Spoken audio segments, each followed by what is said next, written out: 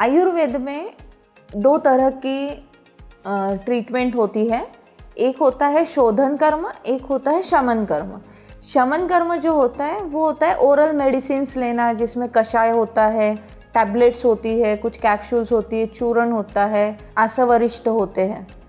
दूसरा होता है शोधन कर्म। शोधन कर्म में पाँच प्रोसीजर्स आती है। तो मेन प्रोसीजर्स में आता है वमन थेराप्यूटिक एमिसिस विरेचन थेराप्यूटिक परगेशन रक्तमोक्षण।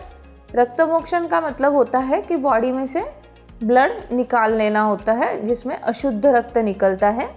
नस्य मतलब नाक में दवा डाली जाती है और बस्ती। बस्ती मतलब मेडिकेटेड या थेरापिटिक एनीमा कहा जा सकता है। जो जनरलाइज्ड एनीमा होता है उसमें आ, सिर्फ़ सोप वाटर वगैरह दिया जाता है। रेक्टम को फ्लश करने के लिए, पेट साफ़ करने के लिए। बस्ती जो होता है, वो एक ट्रीटमेंट का पार्ट है। सारे पेशेंट्स को सारे डिसीजेस में दी जा सकती है।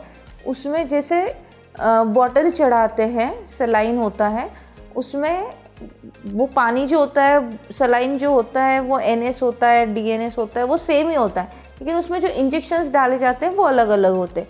वैसे ही बस्ती में जो मेडिसिन यूज़ किए जाते हैं, काढ़े यूज़ किए जाते हैं, घी यूज़ किया जाता है, तेल यूज़ किया जाता है, वो मेडिकेटेड होता है, वो हर डिसीज़ के हिसाब से अलग अलग होता है। तो ये पंचकर्म होता है।